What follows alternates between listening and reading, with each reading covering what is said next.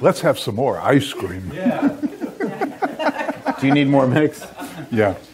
I need five quarts. When we get down to the last flavor, we're gonna say, "Hey, you want to make some ice cream?" no, no, no more.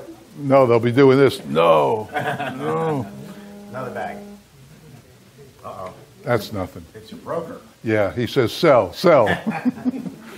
Uh, George. So um, I was telling Brian, I think, that it took me six years to come up with vanilla ice cream. I make 40 flavors in my store. We sell 40 flavors. And I've been open for eight years. And we vary the flavors, seasonal and, and specials and all that. But, but I was never able to come up with a great vanilla ice cream. And vanilla is the test of ice cream. If you can't make vanilla, you can't. eh, The other stuff's easy. You can add tons of cherries and make cherry ice cream, and tons of chocolate and make chocolate ice cream.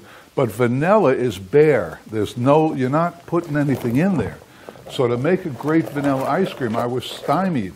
Me, the great Jeff, was stymied. The great Jeff. Somebody, nobody laughed. They- well, I did. So then uh, a friend of ours, uh, Rod Oringer, came up. He owns I Rice and Company, Not and exactly on it, but well, he He's the important. He's the important person. Okay, he came up. I guess he came up with it, or the. I don't know. Probably him. Yeah. He came up with a product, and uh, other places make it, but he really makes it. And uh, he sent me a, a free one, which I love, and uh, and I tried it, and we're going to have it today, and uh, uh, it's it's an amazing addition, and it makes a great vanilla ice cream. Plus, I use his expensive free vanilla, so you can't miss. And there's really only uh, there's only mixed vanilla and this stuff. What this is, I guess he would want me to show it, right? Sure. This is called Bavarian base. Bavarian base. And the reason this makes it so good is that the, uh, the ingredients, the first ingredient are pasteurized egg yolks. So that's what makes this ice cream so good. Uh, plus the mix that comes from, we get our mix in, in Florida from two places. Uh, the one Steve uses and I use in my store is over in St. Petersburg. It's called Dairy Mix, and they make a heck of a mix. So we'll try this. It's so simple. It's almost, uh, it's almost embarrassing. Not quite, but almost embarrassing. Uh, in this machine,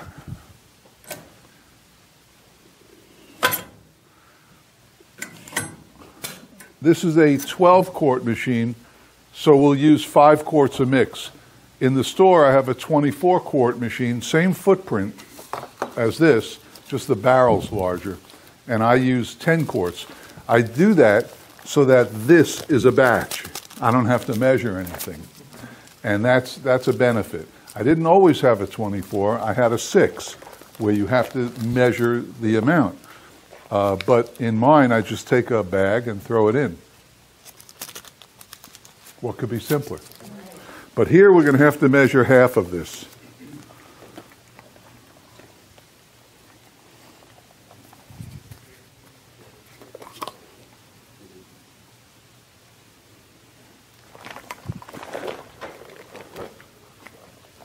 So that's five quarts. And that's it.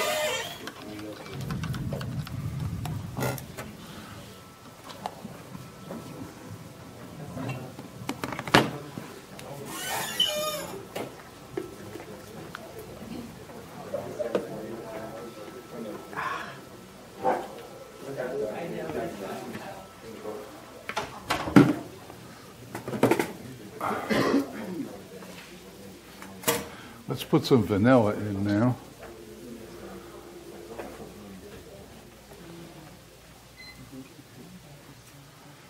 Try not to wince when he pours that vanilla in, I don't even look anymore. I mean, what, what, what can I say? I, I, I don't pay for it. so,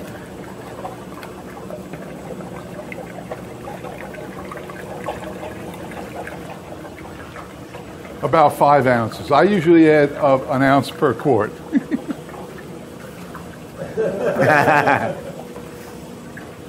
and then we'll add this stuff.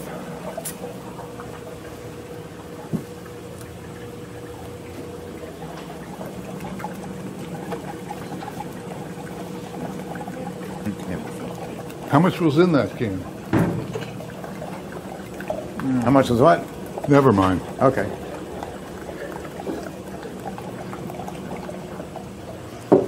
Somebody at the break asked about buying the ice cream rather than making the ice cream. Uh, you still make a ton of money, uh, but look at the fun we're having. um, okay, we're, we're ready. We're ready. Is anybody else too cold besides Giselle? You're freezing. I'll warm it up a little bit. well, not too much. Not too much. Giselle, I can call in So Sammy. She can sit on your lap. That's it. Pretty simple. As we talked about yesterday, when you first start in your business, ice cream, ices, cream ice, whatever you're doing, you'll you'll come up with flavors that have a lot of ingredients because it's fun. You know, you'll make a chocolate cake and you'll say, "Well, let's put the chocolate cake in and then we'll put some chips. How about some caramel too? And then we might add a little sugar because it wasn't really sweet enough. And then maybe we should put some cherries, make it like German chocolate.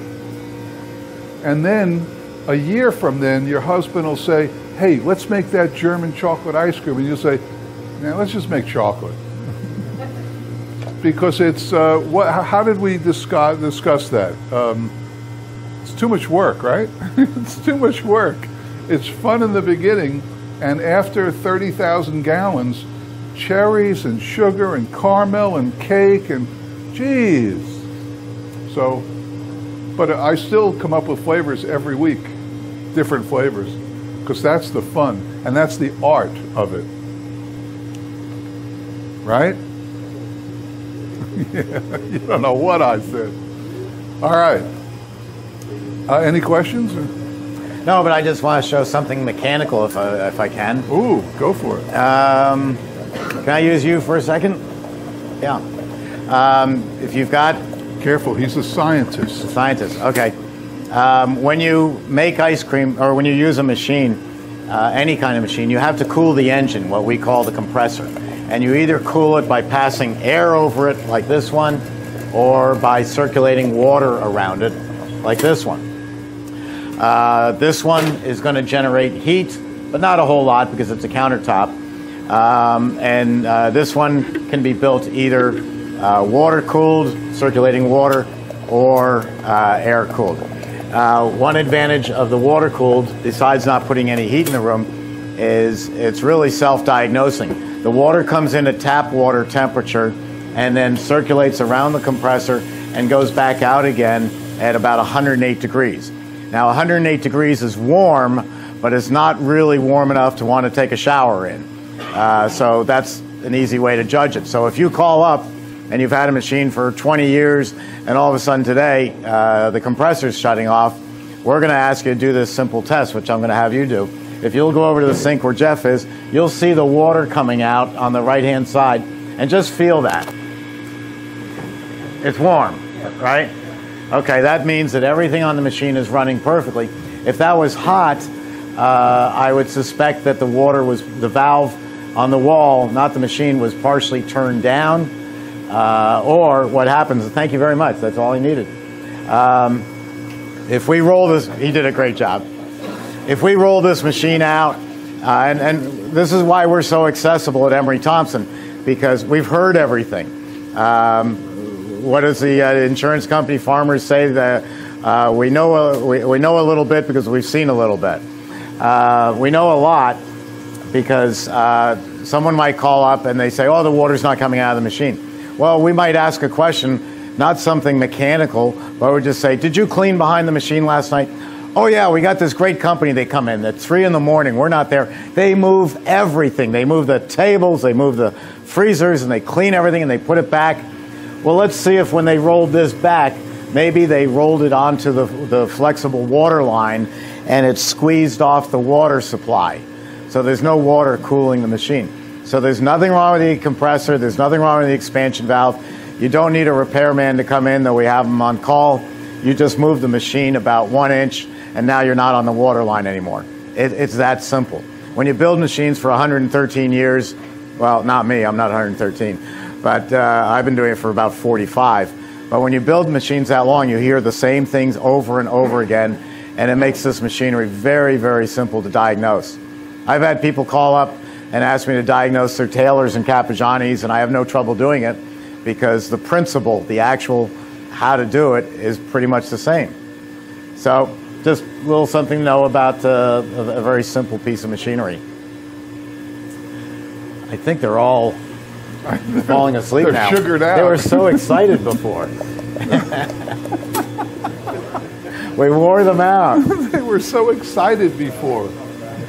No, actually, you are a very good crowd. We've been up here sometimes, and Jeff comes over and whispers to me. He goes, "You think they're all dead?" no, you guys are a good group.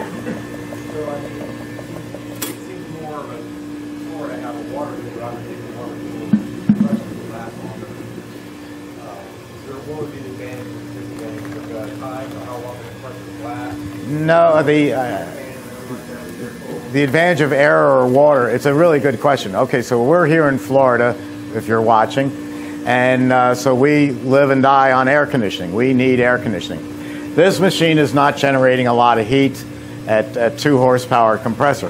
This at three horsepower is almost quadruple the amount of heat that it's putting out if it was air cooled. So this room right now is set at 73 degrees. If it's an air cooled machine, I'm not using any water, so I'm saving on my water bill, but my room just went up 10 degrees in the last hour. And so now the air conditioning had to kick in. Air conditioning is fossil fuel. Fossil fuel is uh, oil, and, uh, and the price of uh, oil and electricity go up about four times a year. Your water bill is expensive. Whether you're in Alaska, New York, uh, Maui, it doesn't matter. We know your water bill is expensive and your sewer is expensive too. But it goes up pennies a year compared to your electricity, which every time you get a new electric bill, they've announced a new uh, increase in, the bill. When you've got a machine that lasts for 40 years, uh, a water cooled machine is going to be far less expensive to run than an air cooled. So I'd say on these bigger models, we're about 90% water cooled, 10% air. And the 10% are air are because they're in Los Angeles and there's water restrictions. You're on the island of Jamaica where there is no water and they count on rainwater uh, to drink. Uh, or uh, you're um, in Saudi Arabia and it's not practical to even find water. So, unless there are restrictions or the impossibility of fine water, a water cooled is, is an easier way to go. They both make ice cream in the same amount of time. The uh, air cooled machine has a third more moving parts, so it costs $1,000 more to buy. So when someone says to me, Oh, I want to buy an air cooled because I had to pay the plumber to come in and run the water line, the garden hose. It's a garden hose connection. I say, Yeah, but you got $1,000 to play with. I mean, you ought to be able to find a plumber who can run you a simple line over to the sink for a thousand bucks. So if you're buying smaller machines, air cooled. If you're buying larger, usually water cooled. You've never looked at your water bill. Who cares? It's a cost of doing business. Right. Yeah, exactly. Doesn't matter. Any questions? We can answer questions about any aspect of the business. Or we can make them up. Yes, sir. What do you say? can you put that in English? He's asking about overrun. that you can tend to reduce your volume of ice. Oh, okay. I heard something about batch consolidation. What reduces your overrun? When you have overrun, you can notice that the amount of production goes down. okay, I can answer that easily. What was That's the question? what is overrun. No, I don't think he's asking that. Well, it's, it's basically the same thing. okay. First off, the definition of overrun, the word overrun. Let's get rid of the word overrun and use proof, as in alcohol, as in rum. If you have a 100 proof bottle of rum, it's 50% alcohol and 50% other stuff. and they call that 100 proof. But if you analyzed it, it's only 50% alcohol. So if we have a 100 proof vanilla ice cream, it's 50% dairy and 50% air. My father was called down in the late 1950s to a Senate subcommittee hearing because Senator Foghorn Langhorne said, uh, "Sir, I, I, sir, I understand that uh, you're cheating the public. You're putting air into the ice cream." And my father said, "Well, yeah. If you didn't have air, it would taste like lead. So air is a normal component of ice cream." Uh, people say, "Well, I want I want ice cream with no air in it." Well, if you take the ice cream mix or just water and put it into ice cube trays, you're so young you probably don't know what an ice cube tray is. Uh, if you put the water into an ice cube tray and freeze it, you know the, the uh, ice cubes crown over. The normal expansion of water is 17%. 17% in proof would be 34 uh, percent proof or 34% overrun. So um, homemade ice cream is normally 100 proof or 100 proof overrun uh, or, or 100% overrun. It is half dairy and half air. Uh, I think the best way to look at it, because people again say, oh, I don't want air in my ice cream. Well, fine. What are we trying to make? Let's put it on the birthday cakes. Uh, you know what a birthday cake tastes like. A birthday cake would be 100% overrun, lots of air.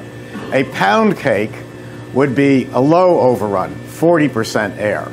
And they're both good, they're both cakes, but which would you rather eat a second piece of? Uh, a birthday cake or Aunt Martha's pound cake, which is going to sit like lead in your stomach. And then you can take it one further to a dense brownie. Okay, which is really heavy. Sure. And they're delicious, but you can only eat a small amount. Right. So when we go to serve um, ice cream, 100, 100% overrun, 100 proof, four ounces is going to fill this bowl and look really nice. Uh, a 40% overrun, Haagen Dazs, they're actually 45, is going to look very small. It's going to be very dense, kind of like nuclear waste. It's really uh, tight. How can you compare Haagen Dazs to nuclear waste? Uh, but it's, it's a very small, heavy amount of ice cream. That's why there's no Haagen Dazs stores anymore. There might be one or two. They're dead. They just don't know it.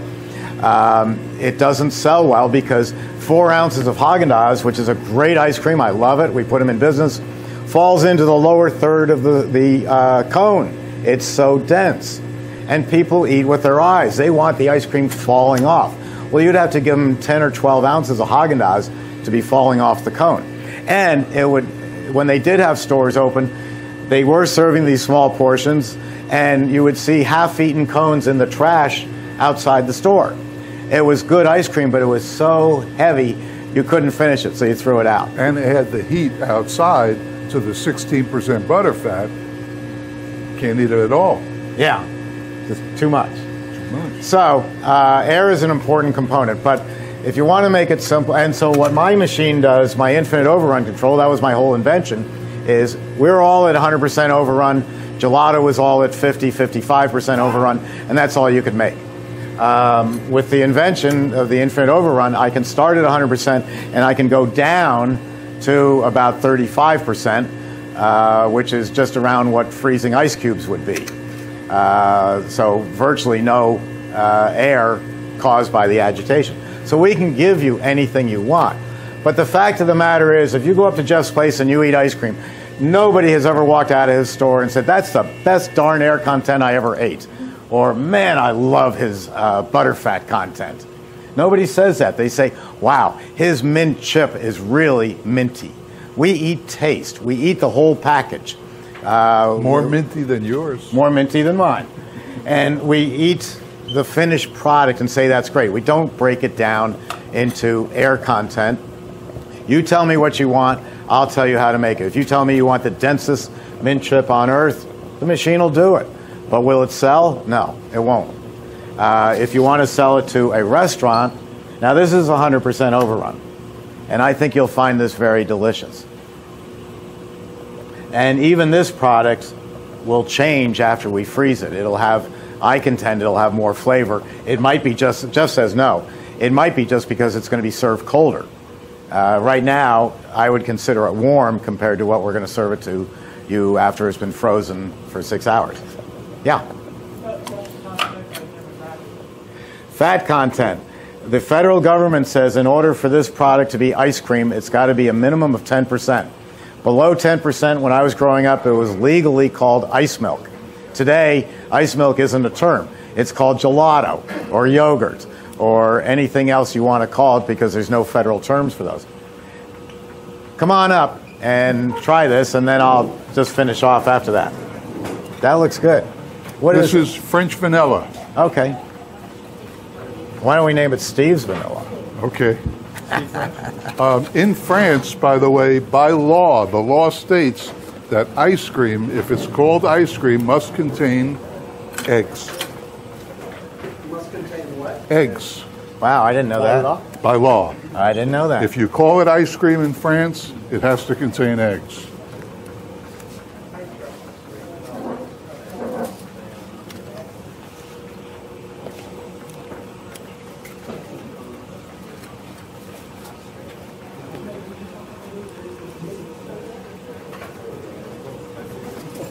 Thank you.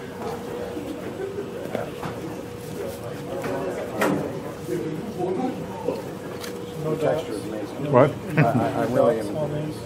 Use my I saw what? that mint chocolate chip. Yeah, but I don't have it here. Uh-huh. I didn't. I was like, Absolutely, That is the absolutely. and, and I knew it had to be your dasher. Like I love those dashers. yeah, it's a, it's, it's a design we've had for a long time. Over the years, Well, it just, I just wore it- out my last, right, last right. Day. My my most recent White Mountain gave up. Oh, okay. And, and, and where I came from, White Mountain. That was the best. Uh-huh. I, I'd love to. I'd love to have one of yours, one of these old deals. well, they make them still, Yeah, sure. so but it, it makes a it makes. still make these? We don't, but the the company does. White Mountain. They're owned by Oh, uh, know. Rival. Right. They stink. Yeah, I'm not happy with them. No, they're very inexpensive. But the problem is with the old salt and ice machine is it takes 40 minutes, and that makes a very granular ice cream. By freezing in eight minutes, we're a much smoother product. Mm. We have experimented with making ice cream even as fast as four minutes, and it had a, a negative effect. It, it just didn't bring out the flavor. It froze too quickly.